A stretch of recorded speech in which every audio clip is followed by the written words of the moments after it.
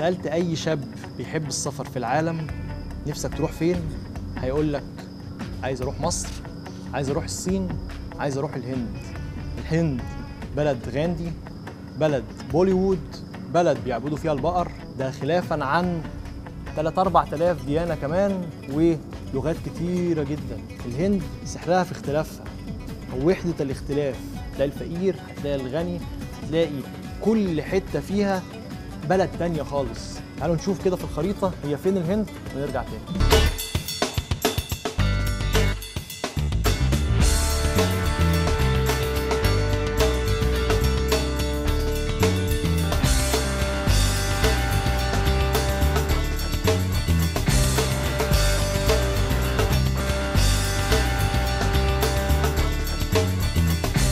جامنا يا جماعة اللي هم لما بينزلوا فيه الهندوس يستحموا فيه لكن كل الخطايا بتاعتهم راحت.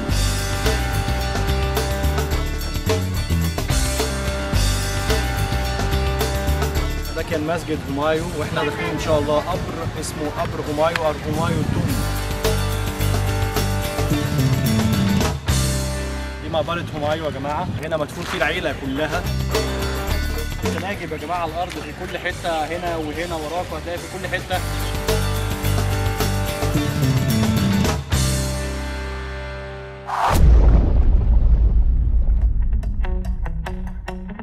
كل الناس بتشوف القرود في جنينة الحيوانات. أنا شفت القرود في الهند أكتر من بني في الشوارع. ومش كده وبس. أنا كلمت صاحبي في مصر بقول له الحقني الحقني أعمل إيه؟ يا جماعة أنا اتعضيت. فبيقول لي اتعضيت من إيه؟ قلت له اتعضيت من قرد. تخيل أنت إنك أنت تكلم واحد صاحبك تقول له أنا اتعضيت من قرد. مش اتعضيت من قطة اتعضيت من كلب. لما رحت المستشفى لقيت الدكتور فرحان جدا جدا جدا. سعيد إن هو شاف واحد معضود من قرد. فبيبص على ظهري وبعدين بقول له أنت ليه سعيد كده؟ قال لي إن هم عندهم هناك بيعبدوا القرود وإن أنا كده أخدت بركاته يعني شوية كان هيتمسح فيا إن أنا أخدت بركات القرد دي. تعال نشوف كده الفيديو ونشوف قد إيه كمية القرود في الشوارع ونرجع.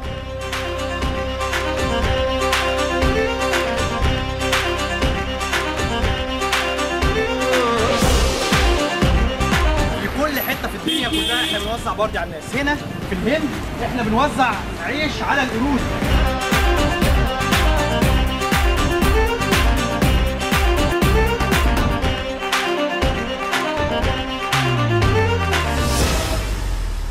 عضيني يا حجاج. هي تقوم عضيني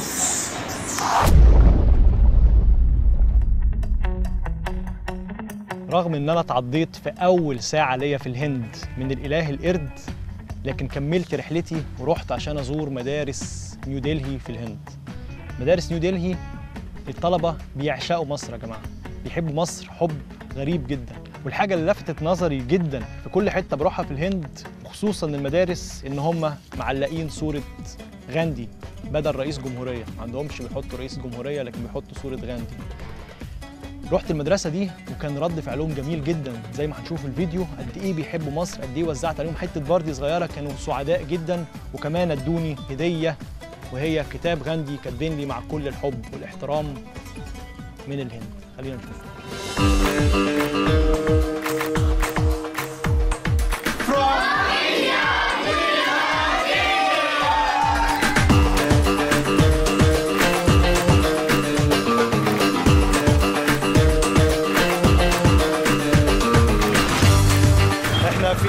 القديمه وليس نيو دلهي. إحنا في اولد دلهي يا جماعة. حاجة تانية خالص.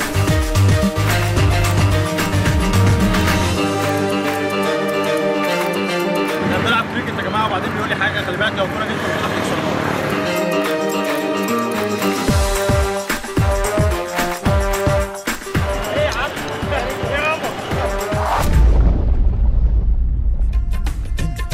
راجع من أجرا بعد ما زرت تاج محل وقفت في السكة. نزلت أنا ومصور من العربية نشتري سندوتشات من ماكدونالدز دخلنا ماكدونالدز في الهند لقينا إن كل الموجود في الليستة chicken chicken chicken chicken فراخ أو سمك. مفيش أي حاجة لحمة. حاجة تضحك جدا ولا يمكن كنت أتخيلها أو كنت أصدقها لو حد حكاها لي غير لما أنا رحت شفتها بعينيا إن بجد في الهند يا جماعة ما بياكلوش لحمة.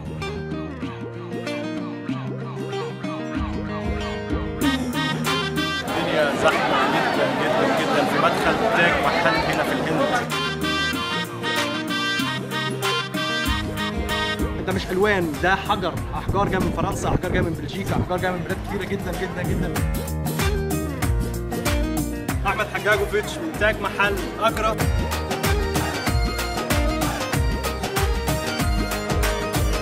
إحنا جوه معابد السيخ هنا في الهند.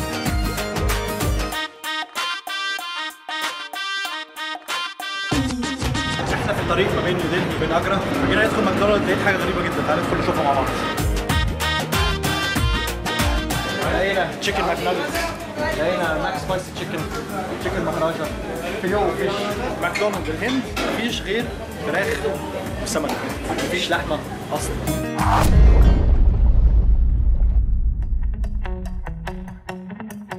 اللي هيزور الهند لازم هيزور جايبور عشان يشوف الفيال. لازم هيزور أجرا عشان يشوف تاج محل. لازم هيزور نيو دلهي مش بس عشان هي العاصمة لكن هي المكان اللي مات فيه الزعيم الروحي للهنود كلهم غاندي. رحت أنا يا جماعة البيت اللي مات فيه غاندي وكان عايش فيه آخر 144 يوم في حياته.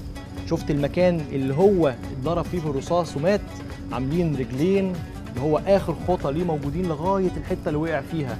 مكان جميل جدا محطوط فيه حاجات كتيرة جدا عن غاندي. هنروح نشوف لبسه هنروح نشوف المكان اللي كان عايش فيه هنروح نشوف إن هو كان قاعد على سرير بس صغير جدا بالآلة بتاعته اللي هو بيعمل بيها النسيج.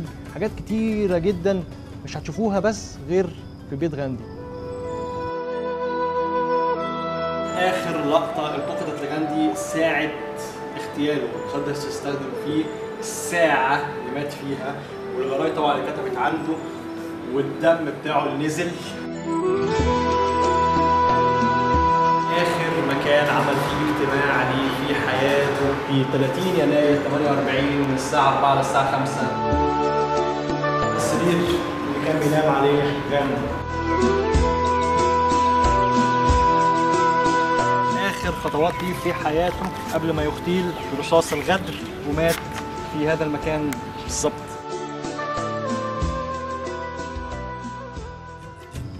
حبيت جدا وأنا في الهند الحاجة اللي هم بيعملوها ويمكن حاجة فريدة جدا إن هم بيجيبوا أجانب كتير جدا من بره يستضيفوهم بيديهم أكل وشرب لكن في نفس الوقت الطلبة دي كلها بتشتغل عشان خاطر يدرس لأطفال في المدارس تعلم ناس حاجات صناعية أي حد عنده موهبة أو خبرة معينة بيروح الهند يطبقها مع الناس في كل حتة. ده بجد نفسنا نعملها في مصر عشان خاطر نخلي بجد الناس كلها تعرف يعني إيه المصريين تعيش معاهم وبعدين في نفس الوقت نخلي المصريين يعرفوا حاجات كتيرة جدا عن جنسيات مختلفة حوالين العالم.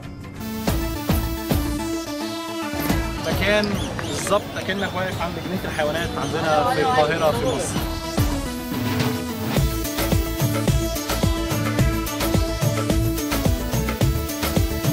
يا جماعة ده هنا زي قبر الجندي المجهول عندنا.